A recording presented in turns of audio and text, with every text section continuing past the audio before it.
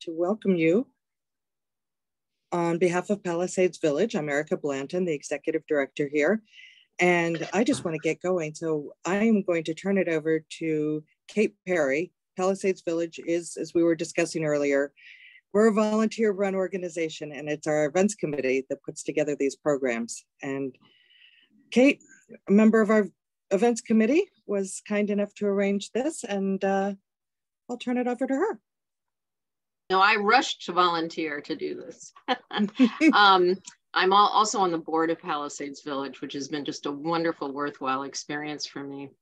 But it's my very great pleasure this evening to introduce Professor Janet Mann, who will speak to us today about her discoveries and research on seemingly all aspects of bottlenose dolphins, social networks, female reproduction, conservation, social learning and culture, and so much more. Janet earned her BS at Brown University and her MS and PhD at the University of Michigan. She is a professor and provost at Georgetown University here in Washington. Janet manages an international team of scientists on three continents. She has published over 130 scientific papers and several books and received a number of significant awards and recognition. Wonderfully, She's even had a children's book written about her and her research. Uh, we are especially lucky that Janet, who lives here in the Palisades, is here with us today to share her expertise. Thank you so much. I'm going to hand this now over to Janet. Thank you away, Professor. Thank you. Take it away, Professor Mann. okay. Um, thank you. It's a real pleasure to talk to Palisades Village, which uh, we've been involved in for a number of years. And I'm going to share my screen in a moment, but I did want to say I served as a vice provost, not as a provost, because that would put me in charge of uh, way too much money. And um, I stepped down from that role in, in 2013, so I could focus, 2017, sorry, so I could focus on research. Okay, so uh, I'm going to share my. Oh, let me just say one housekeeping measure. Yeah. Sorry. Um, yeah, we were going to ask you if you don't mind to hold your questions till the end. But if you need clarification of anything, just please enter that into the chat. We will be monitoring that. Um, but we'll have plenty of time at the end to, to uh, get into questions and answers. Thank you. Okay. Okay. Uh, so the title of my talk is uh, Potomac Dolphins, Fact or Fiction. I think you probably already know the answer, but on the uh, lead slide, you see a bottlenose dolphin in uh, from Shark Bay, my long-term field site. And first I want to credit how I got started in this. So when I was an undergraduate at Brown, I uh, did research on baboons uh, with one of my mentors, Jeanne Altmann, and I got very interested in uh, dolphins serendipitously. So I wasn't what we call a flipper file. I didn't start out interested in dolphins. I was sort of more interested in just animals generally and primates. So I've come from savannah to sea, and I want to credit three, three uh, significant uh, figures. Uh, Jane Goodall, who inspired me when I was in high school. That was what got me interested in animals in the first place.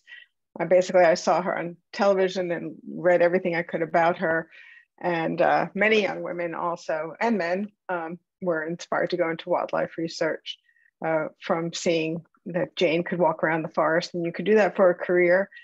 Um, Jeanne Altmann was uh, my mentor when I was an undergraduate, where I went to study baboons. And then Barbara Smuts was my PhD mentor, who also studied baboons and was also a student of Jane's.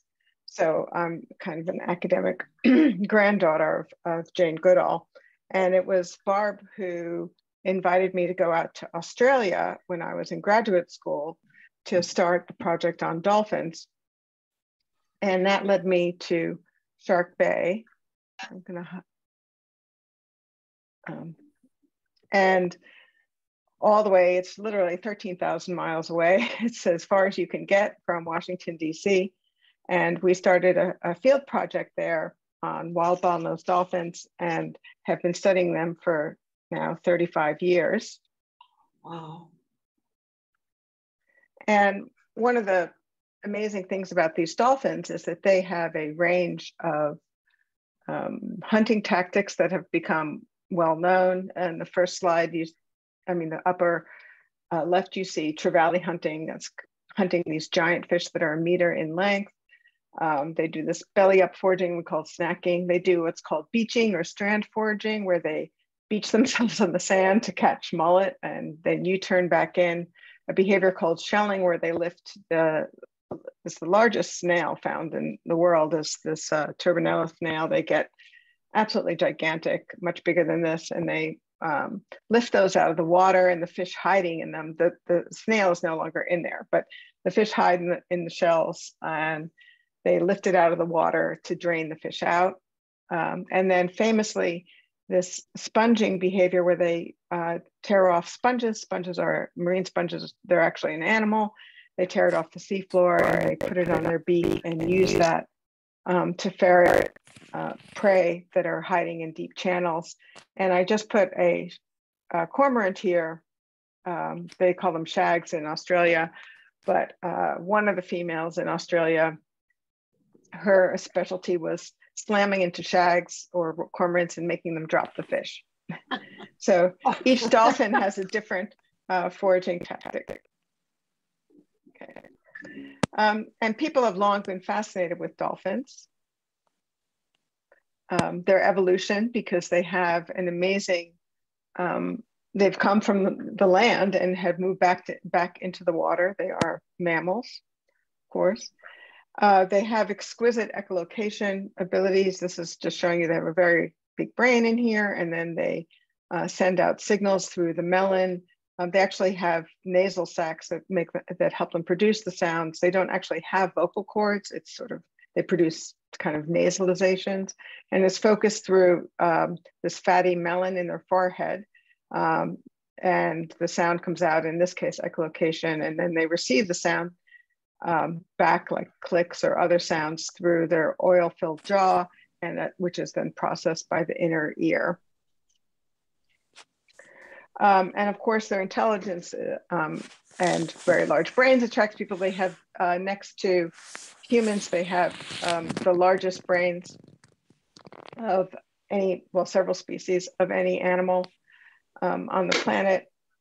And uh, that's controlling for body size. So it's relative it's relative to the body size. And so you can think of dolphins as having a brain three times the size of a chimpanzee. And I can say that because Jane Goodall isn't on this call. And um, the behavior and ecology is fascinating. Um, this is a, actually a mud ring uh, foraging technique where the dolphins create kind of a net from um, around the, a school of fish by beating their tails uh, on the sand and they can um, encircle the fish and then uh, feed off of them. And this is a behavior we actually think they might be doing um, more locally. So uh, because I'm a workaholic and my husband wanted to get me away from my work, um, and my husband's here, Tom Demuth, and he wanted a place on the water and we started looking at little cottages on the lower Potomac. And then we settled on this one here. And uh, so he wanted us to go there and relax and uh, basically for me to stop working. but the day we closed on the house, I walked into the backyard, which you see here, and said, Oh, look, dolphins. And uh, lo and behold, there were dolphins that were swimming in, in the Potomac River. This our house uh, is on the. It's in a little town called Ophelia, um, in the northern neck of Virginia, and um, it's sort of near the mouth of the Potomac River, and uh, which empties into the Chesapeake Bay. And this was a regular event. We um, would see dolphins periodically um, in the backyard. And I'm sure my husband thought, oh no. um, and I started thinking, hmm, I've been going really far to study dolphins. And here they are right here in the backyard. And it turns out uh, that dolphins have been as far up as um, Alexandria and Washington, D.C. Um, here's a um, newspaper, well, two, uh, two newspapers from the uh, late 1800s. and uh, dolphins were seen, they call them porpoises then, off of Alexandria. And then uh, a scientist who worked for the Smithsonian, uh, Fred Frederick True, shown here, uh, reported they're regularly seen off of um, uh, Maryland, which is not too far. It's about 20 miles south of Washington, D.C. Um, and there were other reports, but all in the 1800s about dolphins being in the Potomac River. And here, I'm not going to read you the whole article, um, but the uh, Republic had published, um, the National Republican had uh, published an article in 1884 about dolphins that were all the way up um, around Georgetown and uh, Chain Bridge. And as you can see from the article, if you look a little bit down, it says rumor had soon magnified the porpoise that was seen early in the morning swimming in the midst of a school of rockfish between the aqueduct and Chain Bridge into a shark, two sharks, a whale, the sea serpent, and a school of seals, etc. Um, and they were trying to kill it. Like a crowd came and people were shooting at it and and uh, trying to kill the dolphin. And this went on for quite a while, but it, they were fortunately unsuccessful and dolphin swam away. But um, it's quite an amusing article, and clearly the reporter is uh, quite amused by the event. So then there seems to be like a hundred year gap or more than a hundred year gap um, and we have been actually looking to see, well, you know, did the dolphins just disappear? Uh, why there are only reports from the late 1800s? And um, I'll come back to that. So then, you know, I could go kayaking in my backyard and there would be dolphins um, swimming along, as you see here. Um, but tragedy struck in 2013. We had bought the house in 2012 and um, there was what's called an unusual mortality event that dolphins were stranding along the coastline uh, between. Um, I'm actually going to ask if um, you haven't muted, if there, I can hear some background noise. So if you haven't got the mute on, if you could, because if I can hear it, so can everybody else.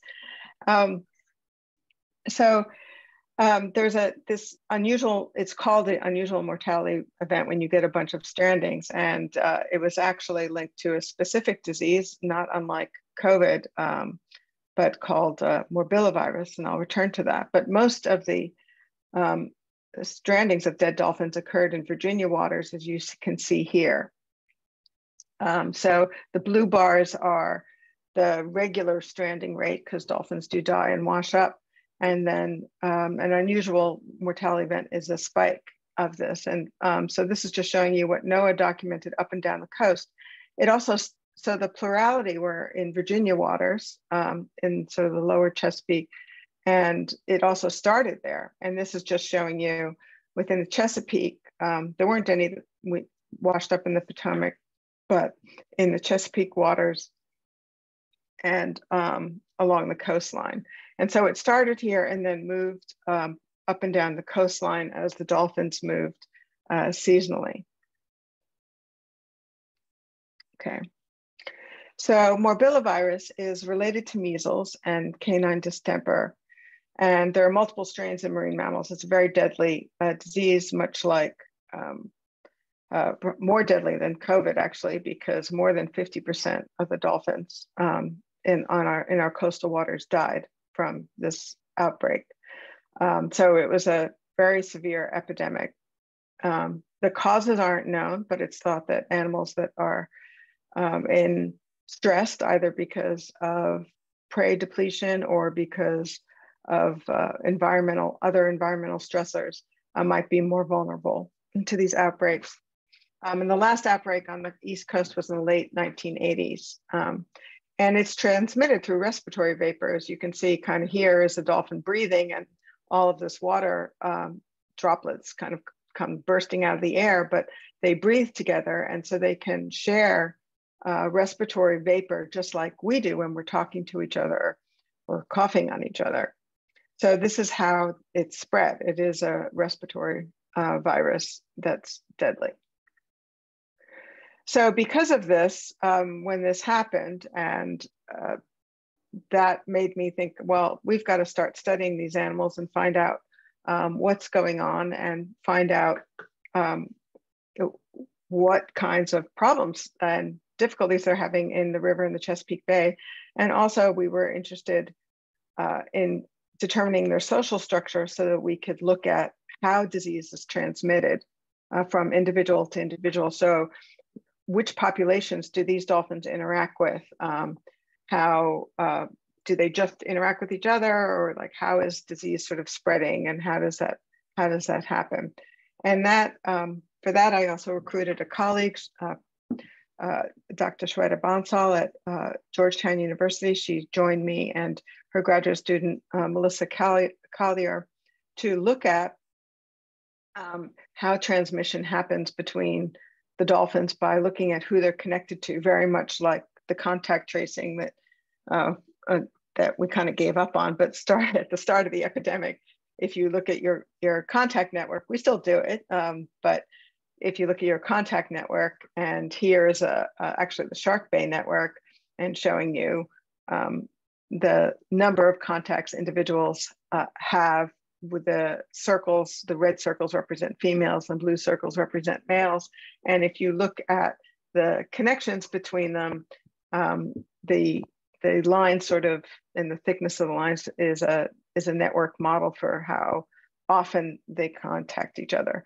So by modeling this, you could look at if you know who contacts who, you can model how disease would move through the population. Um, and we can, uh, this can help us uh, understand how disease is moving from the dolphins in the Potomac and Chesapeake to um, other parts of the uh, Western Atlantic. So why are dolphins important? They are top predators um, and they are a sign of a healthy river. So they are, because they're apex predators, meaning they're sort of at the top of the food chain. Um, they don't have any predators we know of in the bay, uh, as, except you know, perhaps humans, um, they, but being top predators, they have a disproportionate effect on the bay. And also they are a flagship species. Um, they're charismatic and people are interested in what um, dolphins are doing in the bay and in the river. And if you, uh, you can also consider them an umbrella species because they use a large area. If you protect dolphins, you have to protect very large areas. So we think of them as important because of their influence on our waterways and also that by protecting them and you can get people interested in protecting them you can protect everything else that lives in those waterways. Um, another big factor is that the surprisingly the dolphins in the potomac river and the chesapeake bay are not um, part of um, noaa's stock assessments. Um, they're not yet acknowledged as even existing. And so if you live in the district, you know, we have uh, taxation without representation. Well, they, um, they need conservation, um, but don't have representation. And so um, what I'm showing you here is like that this is the, um, the NOAA data on the different stocks. I have something called the Northern Migratory Stock, which starts is in the summers as far north and, and moves down to as far as the Carolinas in uh, the winter. Um, and nothing is acknowledged in, again, the Chesapeake Bay or Potomac. The Southern Migratory Stock, which uh, is off of kind of um, Virginia, Virginia waters and goes down to as far down to lower North Carolina, and then what's called the Northern North Carolina estuary stock, which moves just a, tightly along the coastline from Virginia to North Carolina. So we think actually all members of all three stocks come into the Chesapeake Bay, uh, but they aren't represented anywhere as far as NOAA is concerned, although we're working with NOAA on that. So um, Ani Jacoby, who's in the upper left here, um, I recruited to uh, work with me on this project. She was my undergraduate at, at, Georgetown University. Now she is a Duke graduate student. And our main objectives was were why are dolphins coming into the Potomac? How many are there? Are the same ones coming back? Where do they winter? what is their population structure, how far up the river do they go, and what are the threats to the dolphins. And um, Ani in particular is looking at the history and um, looking, interviewing watermen to get uh, information on, um, because many of them have grown up on the river for generations. Um, how long have they been seeing dolphins? Is this just a recent thing that we're suddenly seeing them? Um, or is it something that's been going on for a long time? She's also looking at archives of uh, small newspapers uh, around the Chesapeake and uh, along the Potomac from small from small towns and searching those for mentions of dolphins or porpoises, as they were called in the past. Um, a bit about Dolphin Society. I'm going to go through it kind of quickly, but uh, they're very long lived. Um, there's some dolphins in Florida that are known to live into their 60s, and we have dolphins in Australia that are have lived into their 50s. Um, they nurse their young for a very long time, two to six years, um, two to eight years, sorry. The mother is central to Dolphin Society that um, they form sort of roughly um, rough kin groups. They join and leave each other all the time, so they're not really in a pod. Uh, they don't stay with the same individuals, but uh, the females are, are sort of central to that, uh, to the social structure. And they have their first calf uh, between eight and 13 years, at least probably in the Potomac and Chesapeake. Um, in, in Australia, it's usually not till 12 or 13. And the males form alliances, meaning that they have these stable male partners that cooperate both to try and gain access to females and to keep and compete with other males. And these alliances uh, tend to be fairly stable and last for uh, decades. And um, it's usually two or three, sometimes four males that spend a lot of time together. Okay. Um, we do uh, surveys, and here's our boat. It's called a Hoya. Um, and uh, we do surveys in the lower Potomac and we uh, record behavior and group membership.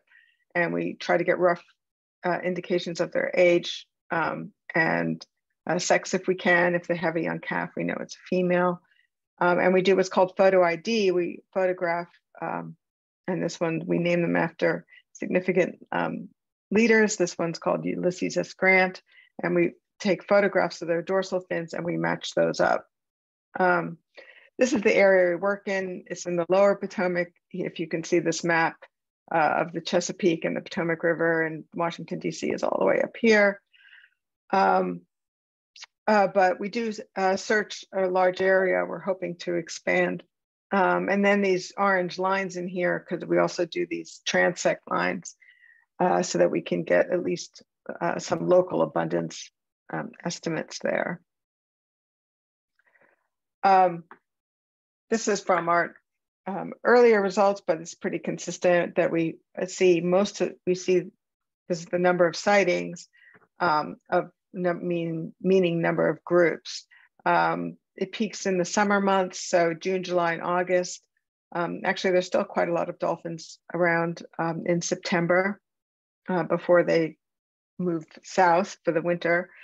Um, and uh, we do see a lot more individuals, different individuals also during um, the warm months. And we do sort of these periodic surveys in April and May, and then we try to do a, a sort of a lot more sampling in the warm months when the animals have, are there. Um, the group sizes vary. Um, sometimes we see lone dolphins. Um, they're often in small groups, but they can be in these clusters. We've had some, some groups that are over 200 dolphins. Um, and we see the same dolphins, um, about a quarter of them we see across years. So this is um, showing you below a dolphin that we've uh, seen every year. Um, and we see them repeatedly within a year, but it's kind of, because there are a lot of dolphins, which I'll explain, um, we see them, um, you know, we have like a 20, roughly 25% chance of seeing them within a year too, depending how, how much time we're spending on the water. Um, and we see them together with some of their same associates or friends. Um, the males are seen with the same males, and we see a lot of the females hanging out with the same females year after year. And just to show you, because we did decide, because it's the Potomac, to name them after uh, uh, leaders, we start with presidents and first ladies and vice presidents. Um, we've done a lot of Supreme Court justices and um, other significant um, uh, leaders of uh, suffrage and uh, um, abolitionist uh, movement leaders. And um, Bill Clinton is, um, we see him pretty regularly. He likes to bow ride or kind of ride around the bow of the boat very frequently. Um, we, the males, as I said, are in these alliances, and we have a trio, which is uh, George W. Bush, uh, Zachary Taylor, who is the 12th president, and uh, Jimmy Carter. So we don't do it according to their political affiliations. And actually, these guys we've have gone um, have been sighted uh, way up north by Annapolis. So we know that at least some of them have been moving around, and hopefully you can see that their dorsal fins are different. Um, and this is Barbara Bush. And I love this photo because we named it Barbara Bush because the uh, tooth rakes, which are probably from males, um, on her dorsal fin remind me of her hair. Um, and uh, this is Nancy Pelosi and um, her offspring, uh, uh Alexandra uh, Pelosi. Um, we named the, the, the kids after the the same as the mother. So, um, and uh, Martha Washington, who we see um, quite often. Of course, Martha Washington has had um, uh, several offspring, and in real life, she only had two before she met George. So um, we have to be creative with naming the offspring. And here, um, you can see is George is George Washington, who does not actually hang out with Martha Washington, uh, Frederick Doug Douglass, um, Harriet Tubman, and Alexander Hamilton. We had another dolphin. Uh, we originally named Alexander Hamilton, but then uh, she had a calf, so we made turned her into Eliza Hamilton. Um, how many dolphins are there? Well, the first year uh, we surprisingly identified 193 um, and 306 by the next year, about 800 by 2017, 1,000 by 2018, over 1,200 by 2019 to 2020. And now we have over 2,000 uh, individually identified dolphins. And um, it's very time consuming to try and match up their dorsal fins. Um, but I'll tell you a little more about that. So where do they winter? Um, for this, we've collaborated with what's called the um, OBIS SEAMAP, but they have a, there's a catalog called the Mid-Atlantic Bottlenose Dolphin Catalog. And there's uh, from 18 sites up and down the coast where people do photograph dolphins. Our site is here. Um, and since people photograph dolphins up and down the coast, we can try to match the dolphins we see uh, with the sightings at other locations. Uh, so we do collaborate and we submit all of our photos to this big catalog. And then we try to match up uh, the dolphins we've seen here with the dolphins up and down the coast. Um, and the way we do this, um, well, just, well, briefly, I'll tell you. So ours is called the Maryland uh, PCDP, uh, Potomac Chesapeake Dolphin Project, uh, because there already is one for Virginia down here. Um, uh, near Virginia Beach. Uh, but there's one for New Jersey and um, North Carolina. And so we have matched dolphins that we've seen here with all of these locations. So we know these dolphins are moving around. Um, and we do this using um, machine learning. And we've used two different uh, machine learning programs. Um, but George Mason, for example, who was uh, photographed in the Potomac in 2015 and 2017. Um, we use finFindR is one of the programs, but we also have used a Google uh, matching program, um, which can trace the fins and um, help us identify. And um, just to give you an idea, um, if one person was running all of these comparisons without artificial intelligence, it would take two years. but with um, AI, it only takes us a, a few months, but it still takes a long time um, to match all the fins that we've taken. And um, this just to show you George Mason uh, here, who was seen off of uh, North Carolina in 2008 and 2010. So we've seen him, so we get a sense of how old he is, um, just because we know he, he's he was an adult in 2008, so it makes him older than when we first started seeing him in 2015. Um, so the matches suggest that the that at least three populations are using this area. Um, as I mentioned, these three different what are called migratory stocks. And so the Chesapeake and Potomac seem to be very important for probably the dolphins are mixing here. And it seems common, we would see a lot of socializing, um, including mating behavior um, in the Potomac. Um, and we have lots of newborn babies. They get these fetal lines, which you can see these sort of stripes along the side of the body from when they're curled up in the womb. And those last for a couple of months. So we can get good age estimates of calves, but they're definitely having their calves here. And we even documented a birth in the Potomac. It was a rough day, so the photos aren't that great, but you can see how tiny the baby is um, next to the mother uh, here. And that was the mother, she didn't have a baby and then there was blood in the water and then the baby popped out um, and that was in the Potomac River.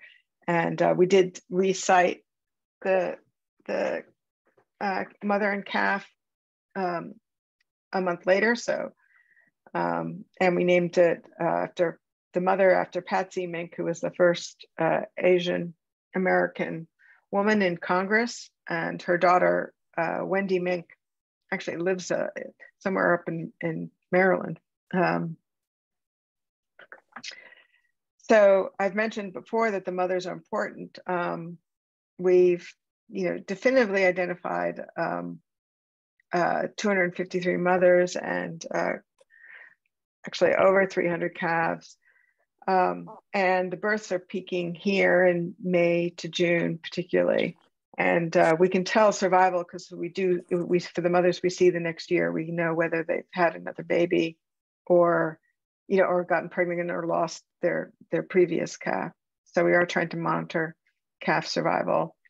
Um, they do spend a lot of time foraging. Uh, they're probably here mainly for the fish. They like the warm water and also they're uh, they don't seem to have any shark scars. So it, um, there's very low predation, even though some bull sharks are known to come in here. Um, they don't seem to have to worry about predators here.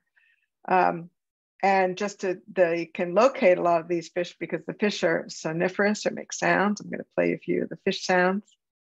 Um, this is going to be croaker.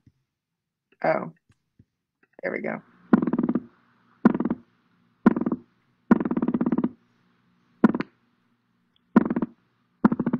And they like croaker just like humans do. Um, and weakfish is another soniferous fish that they um, that they go for.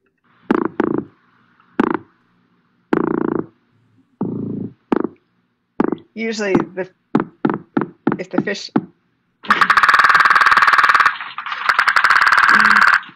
usually if the fish hear um, dolphins, then they'll usually go quiet.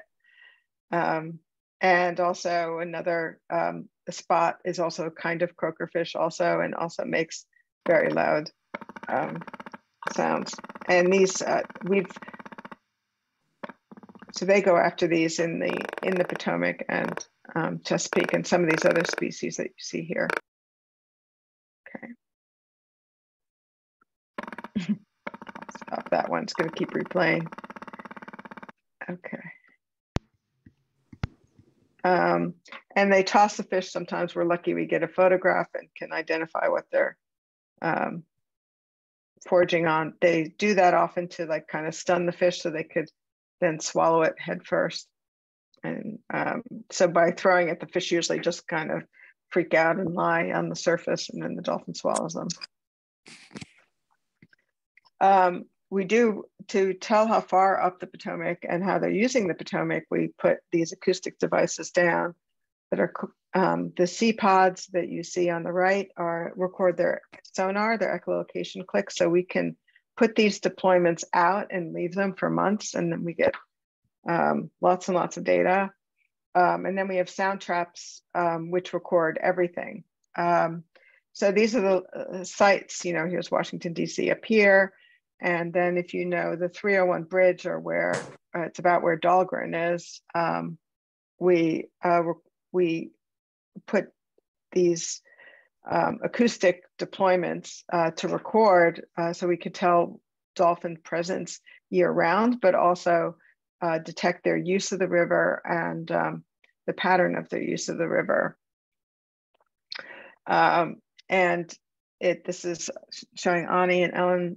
Ellen is my grad student and uh, Ani's at Duke and sort of how we set up these deployments where we have a sound trap on the um, left and this C-pod uh, on the right. Um, it's a pretty elaborate operation and also a pretty messy one because when we pull them up, they're covered in sea squirts and barnacles and we have to clean everything off uh, and try to get the data out, etc. Um, and we're getting um, we're getting good data on dolphin presence, so we can show. Uh, we can't say how many dolphins are there, but we do, can get good presence absence data um, year round, and um, and also we're hoping to look at some patterns of the, their use of the river.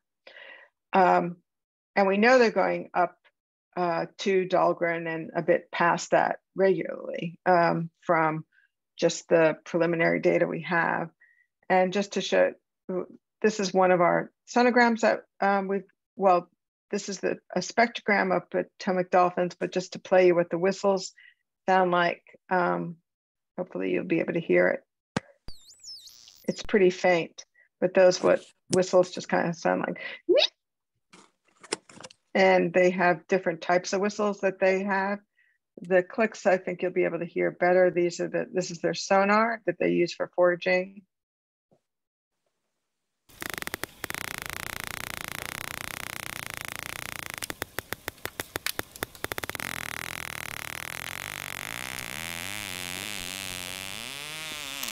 Uh, what you heard at the end with that buzzing going up, that's when they're going after, uh, they've honed in on a fish and um, their clicks get very fast and it sounds, it starts to sound it, it continuous and um, we can get a sense even of what they're probably catching or how much, how, how many prey they're catching if you have like good recordings. Um, the risk to dolphins, um, this is uh, from the Smithsonian where I took my students, uh, the whale warehouse, which is where they keep all the big bones um, uh, in out in uh, um, Suitland, uh, Maryland.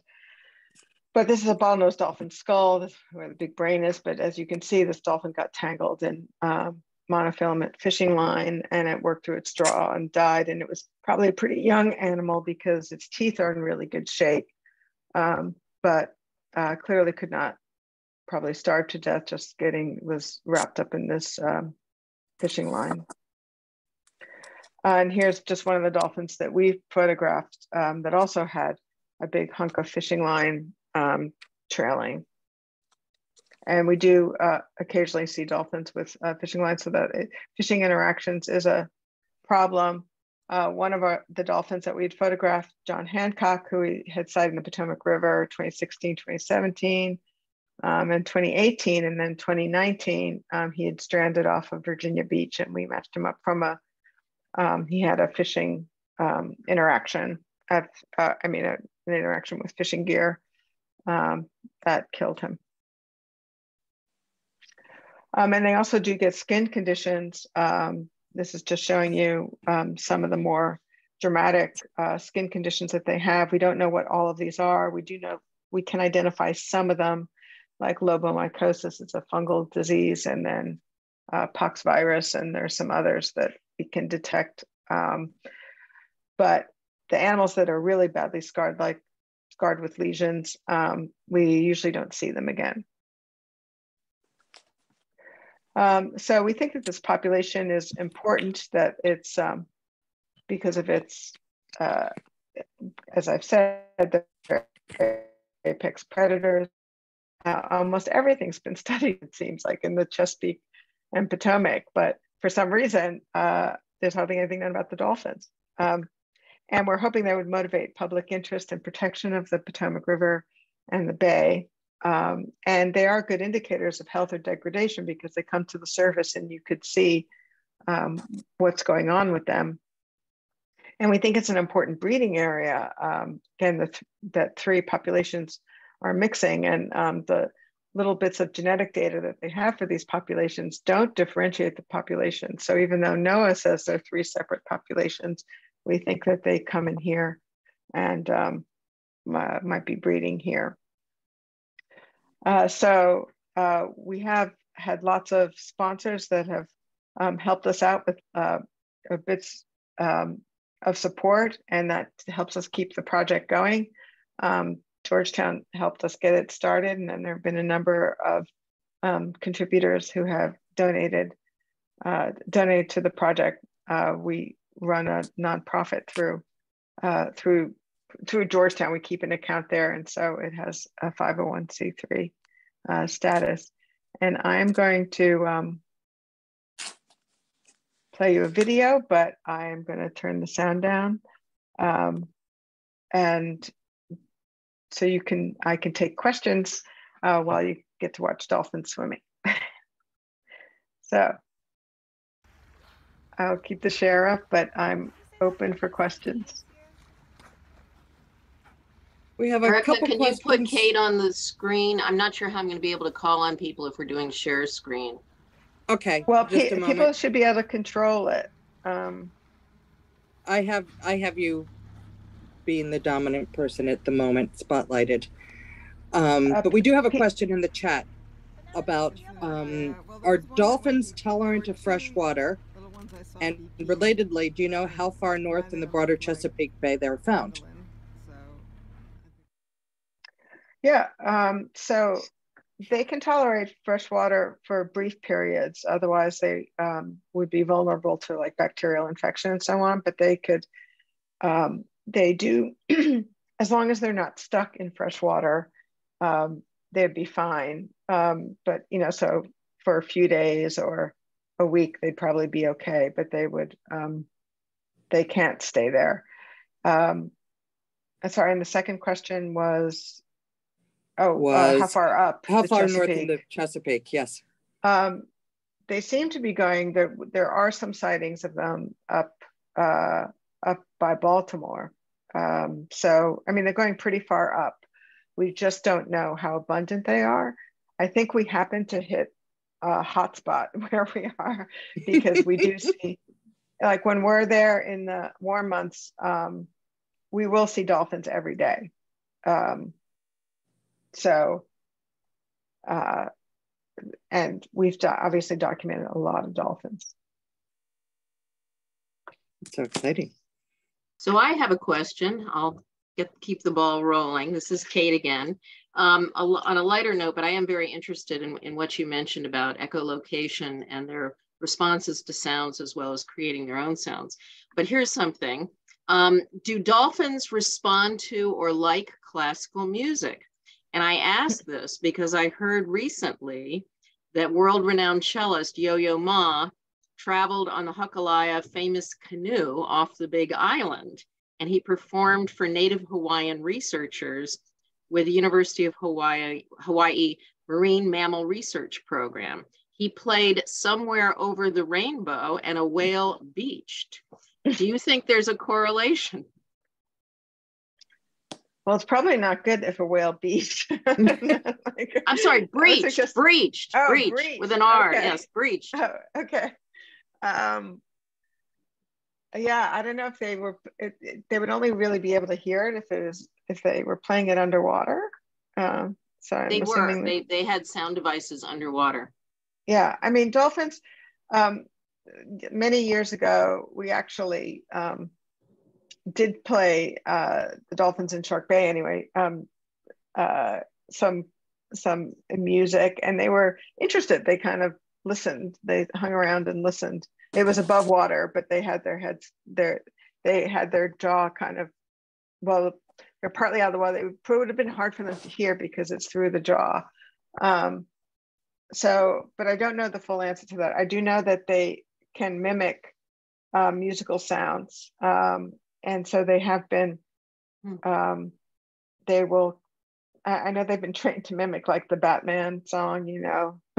Uh, they they can do that. Um, and probably have other talents, but they're not really singers the way the baleen whales are. Baleen whales produce what's called song. Um, dolphins produce um, a lot of communicative sounds and echolocation, but not they're not singers. We've got Thank some you. more questions in the chat. Are dolphins in the Chesapeake more susceptible to injury from fishing gear and boats than in the open ocean? Does your team intervene when you can can with dolphins tangled in fishing gear, or are you strictly observers and catalogers? Yeah, so as far as um, intervening, we do um, uh, we do call it in. There's two uh, stranding networks. Um, unfortunately, they are far away. Um, so we don't have with the equipment to actually capture and, and free a dolphin. Although, you know, if one was caught in a net and couldn't get out, I would probably just jump in and rescue it. Um, mm-hmm. But um, but we're actually uh, we we did do the training to deal with stranded dolphins um, if they have washed up, and if they're distressed, we call it in. But you need um, you need equipment to um, encircle them and, and capture them if that's the case.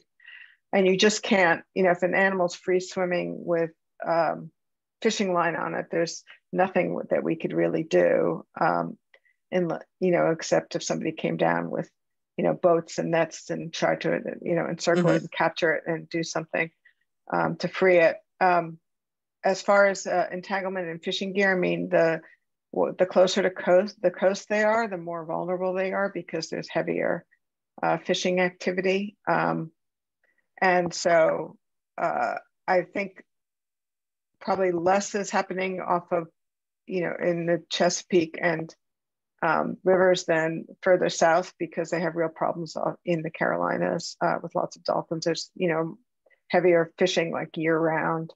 Um, um, but they're vulnerable to like pound nets and um, uh, uh, yeah, they're, they they are vulnerable. And we do see fishing line marks on them for some that have escaped from fishing net. Hmm. In the times between when you noted in newspaper reports in the 1800s and when you found them in 2012, do you think they were continuously in the Potomac? Um, so, in terms of um, their presence, I think that they have been here um, sort of on and off um, over that period. So, uh, the reports that we get from the watermen and some of the and also from the newspaper suggest that they're that they have been uh, coming here. Um, there was a period in the in the 50s and 60s where the Potomac was really so polluted and disgusting that um, President Johnson declared it a disgrace. Um, so I I hope the dolphins weren't uh, in the river then. Uh, so it's fluctuated, and um, we're hoping to get a better sense of what those fluctuations might be about. But um, the watermen have reported that in recent, just in the last few years, that they have been seeing dolphins more frequently. Wonderful. Is there only one variety, the bottlenose? Uh, yes, we only have bottlenose dolphins in the uh, Potomac, um, Potomac River and Chesapeake Bay. Um, there are occasionally um, uh, harbor porpoises um, uh, a little bit further north, typically, but uh, and and and south, but um, they aren't usually in the bay occasionally and occasionally a humpback whale will show up too. And there have been reports also of um, manatees occasionally that have gotten lost or male looking for a female. It's gone a little too far north. This is kate again and i do have another question if that's okay because the chat room chat box is now empty everybody. No it's um, not. Sure. we still have yeah. one more Oh, well, let me just go ahead since. I've started. Yeah. Um, and that is, I've noticed, by the way, in the last several weeks, there have actually been several articles in both the Washington Post and I believe also the New York Times on dolphins. And one thing that I focused on is um, that that we've always known that human caused sounds affect the ocean populations, including uh, dolphins. And I'm just quoting here, the ruckus from boat traffic, comma, offshore drilling and submarine sonar can be sensory overload for aquatic life. And related to that in the same article, it mentions a research team that has noted that dolphins have apparently been uh, uh, recorded as raising their, having to raise their voices in order to be heard between each other. And I'm just wondering if you would comment on that. So it's noise pollution basically in the ocean. Yeah, noise pollution is a huge problem for marine mammals um, because noise travels very quickly in water and um, unattenuated in water. And also the dolphins don't, you know, there's nothing, there's no barriers for them to protect themselves from from loud sounds and they can't, you know, put their hands over their ears even. But um, so sound just moves unattenuated through the water. So it is a, it, it is uh, a huge problem for marine mammals. And um, yes, it is true that dolphins will um, uh, sort of raise the volume in order to communicate um, uh, due to um, due to human made sounds in the water. And um, if these are very, it's a bigger problem for the deep diving animals because they move very slowly um, well, they move slowly and they lower their heart rate um, when they dive. Um, and so uh, and the sound goes into these kind of deep channels. And so if there are sound blasts, they can't speed up because their heart rate is slow and they can't get to the surface um, quick enough. And um, they're the animals who, who seem to get da really damaged and uh, will die from uh, from very loud sounds. They can't escape. Um, the smaller delphinids, like smaller dolphins, uh, can kind of race away at the surface and leap out of the water. and that's how they escape. But for diving, like the beaked whales and sperm whales, um, their mechanism for avoiding like a predator or something is to dive very deep, um, which is doesn't work if you to avoid a sound. Okay, next question. Is the mud circling around dolphins analogous to chimps using sticks as tools?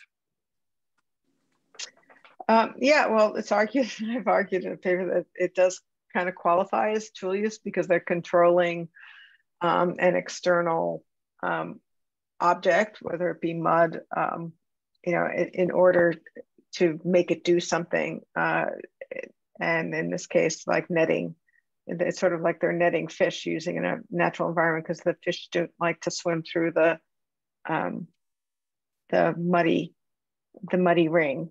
Um, it's similar to also humpbacks use uh, bubbles to make bubble nets and uh, do the same thing. The prey all stay together. I'll stop sharing because uh, the is over. okay. Um, have there been any seals seen recently in the Potomac? Um, occasionally there's a seal seen, um, but it's it's unusual. But occasionally there's uh, um, harbor seal that will wander in. There's both harbor seals and gray seals on the in the you know Western Atlantic. I don't think gray seals have been seen much in the um, Chesapeake. Okay. Please comment on how dolphins would be impacted by offshore wind turbines. Yeah, I don't know enough about the um, wind turbines, but it really depends on the um, amount of sound or vibration underwater that they're they're producing. Um, and you know, it also so I don't I don't know. I mean, there's some concern that it might have a bigger impact um, on larger whales. The, dol- the dolphins are staying, you know, a bit probably closer to shore.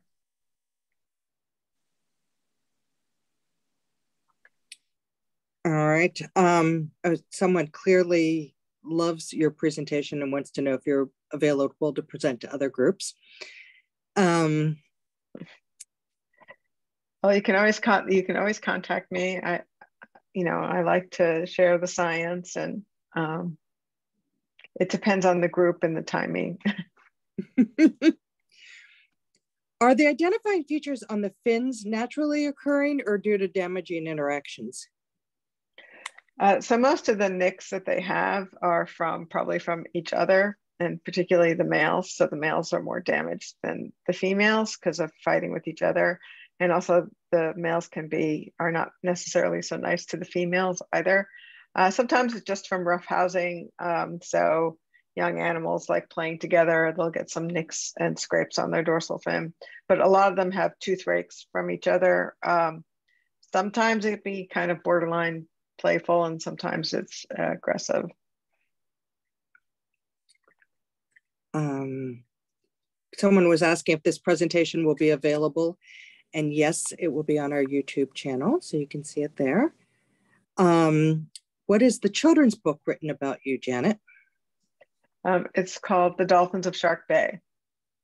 And it's um, uh, by Pamela Turner. And she's written um, a lovely series of books about uh, wildlife biologists around the world. So she has, uh, if you know a, a, kid, I mean, most of them are kind of between, aimed for like, I don't know, eight, eight to 15 year olds, I suppose um, although adults tell me they really like it, her book. So um, she's a very good science writer and she came out and um, spent a lot of time with us.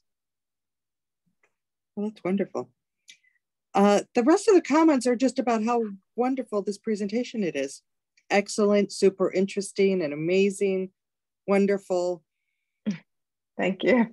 I, I certainly hope that you will look forward to coming back and talking again with us um, with you know about any new developments. Um, I think there are people on today's talk who were not with us, you know, those many years ago in, in someone's living room when we had an in-person talk by you. And um, we have to catch you when you're actually here and not in Australia, which is a long way to go. Um, but it would be so wonderful if you would come back to us because I think it's a fascinating story with ongoing new knowledge and I, you are to be credited and shame on mm-hmm. NOAA. What can we do to help? We got to get NOAA on board here. I mean, they do know they do know about the dolphins. In fact, one of my former graduate students is at NOAA and uh, you know, we talk all the time. I mean, we have to also provide them um, with the data. So we are trying to get the get the message out. It does mess with their cleanly divided stock structure. so I think that, um, but they they respond to data, so it'll it'll get there. Well, thank you so much, Janet, for your time. Yeah, yeah. This thank you. Wonderful. Thank you for your attention. All right, everybody. Well, unless somebody's okay. got another riveting question, I think, yes, we should applaud. Oh, thank you. I just thank want to give Janet, a plug so for help, helping to clean the Potomac up as well. And, and so. Tom, thank you so much for it's, arguing that you needed a getaway house. Janet, is there something that we as a group or individuals can be doing to help clean the Potomac? Well, there's a, a couple of great organizations, the Potomac Riverkeeper Network mm-hmm. um, and also the Potomac Conservancy are both really dedicated. I work I work with them frequently um, to help, kind of help pr- promote cleaning the, the, river, but the, they are very involved in in policy, and the Potomac Riverkeeper sometimes gets involved in like you know suing polluters and uh, stopping them from of doing uh, damage to the Potomac. Um, so those are the two um, groups, uh, you know, that are uh, are dedicated to cleaning. Cleaning. There are other uh, there are other mm-hmm. organizations, but um, I think both of them are great. All Wonderful. right. So yeah, get involved. Clean up the mm-hmm. plastics. Mm-hmm. Stop the sewage stop the chemical pollution. um, yeah, there's there's a lot of the Potomac still has a lot of problems. It's not as clean as it could be. Oh yeah, fertilizer runoff. Um, fertilizer is a big one, you know, and also, um, yeah, uh, protecting it from uh, uh, runoff from uh, either agriculture or also just what people put on their lawns and all that. That is one of the big efforts of EPA's Chesapeake Bay office. Um, they have, Mm. there's a, an agreement between, actually, I think it's between Delaware, Maryland, and Virginia primarily. But, and- Nancy Stoner, who I used to work with at EPA, I believe is still head of um, Yeah. uh, Potomac Good. Conservancy, and she was head of the water office at EPA. So, Yeah, she's at the Potomac River Keeper Network. But Oh, you're, Potomac yeah, River you're right. She is heading yeah, it. Yeah, yeah. The Yeah. PRK. Yeah. So I she's- worked with her first when she was a lowly attorney at the Justice Department, and look what happened. So she's a good voice. Yeah. Yeah. All right. Well, thank you Okay. so much, everybody. And thank you again, Janet, again and again. Sure. Thank Thank you. you. Take care. Bye. Okay. Bye-bye.